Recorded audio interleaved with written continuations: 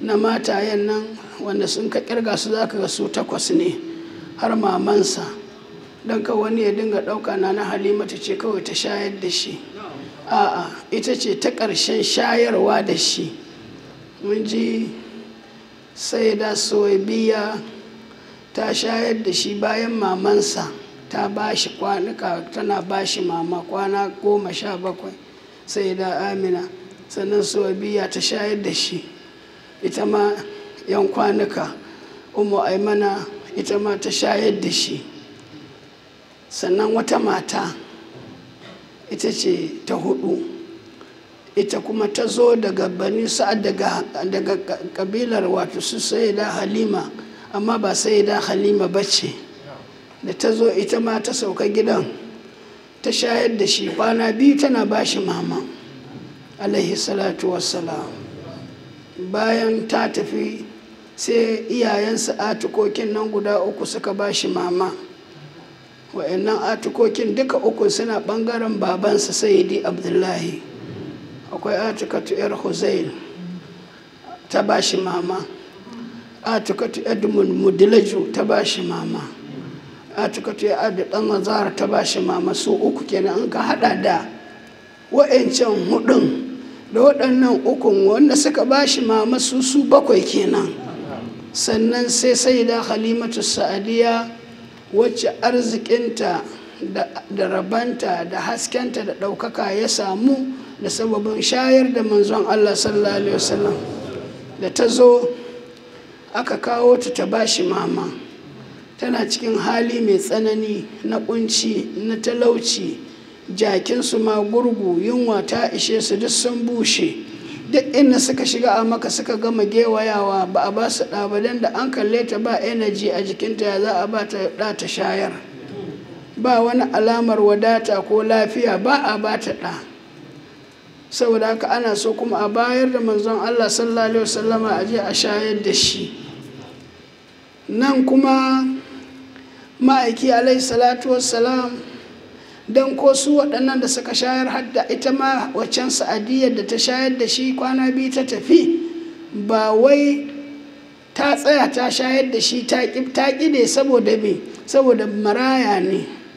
Cewa maraya ne ba baba gare shi in za a biya kuɗin shayarwa sai an contribution an haɗa haɗa haka suke ta tunani. Duk wacce ta zo an ce maraya ne sai su ƙi su tafi. Shine imamul busi da ce fa abatu li yutmihi murdi'atun. Qulna ma fil yatimi anna gana'u. Ba ruwanmu ba za mu karɓi maraya ba ba za a samu kuɗi da yawa ba. Kai kuɗi sun daɗe suna halakarwa. Allah ka tsare. Ga sayyidul halki saboda tunanin kuɗi ba za su yawa ba saboda rashin rabo. To amma sai da halimatu da ita can rabon nata ne can gari an bata nan kuma da aka zo ta shiga su kuma sun yarda ta zo sai adi abdulmutallab ya bata ya ce ta zo ta gwada. Aka zo aka ba shi mama. Ba su yi kyamunta ba. Ita kuma ba ta ƙi gidan ba da mijinta suke tafi abu hala yana waje da jaki. Aka shiga shebu ƙuresh aka je aka ɗauko mata ma'aiki. Da ta bashi mama ta bashi ta yi ya karɓi na hagu bai karɓa ba. Sai kuwa sayidi abdul muɗallab ya ce to ta gwada na daman sai ta bashi tana bashi na dama sai ya karɓa. Shugaban ashabul yamini kenan. Wannan nuni ne zuwa annabi shine shugaban duk ahalin alkhairi. Baya hagu. Abu na biyu a hikimar ƙin karɓar na hagun kuma shi basirun bisirril gaibi ne. Ƙabla kiyanihi tun yana jaririn ya sani cewar shema'u abokiyar shansa da take can gida aka baro ta mafi yawa maman hagun ta fi sha. To sai da adalcinsa tun yana jariri sai ya karɓar na hagun don kar ya shanye ko ya tsotse nonon da 'yar uwarsa take sha. To wannan shi ya janyo saboda haka sai ta karɓe shi aka taho da shi zuwa bani sa'ad. Saboda ɗaukansa da rungumarsa da bashi nonon da ta yi kafin ma a miƙe a kai ga cewa a tafi wajen jaki a hau. Allah ya canja mata siffarta. Ta zama lafiyayyen mace ba tsohuwa ba cikakkiyar budurwa lafiyayya balarabiya ta tas abin kyan gani kafin su fito waje. Mijinta yana waje a tsugune jaki a bushe karmasashe gurgun jaki. Da mijinta ya ga sun fito ya ga wata kyakkyawan mace a gaba gashin ya miƙe ya yi zaga-zaga ya zoro da ko gashin na na halima duk ya ƙone. Amma kafin su fito ta yi lafiya.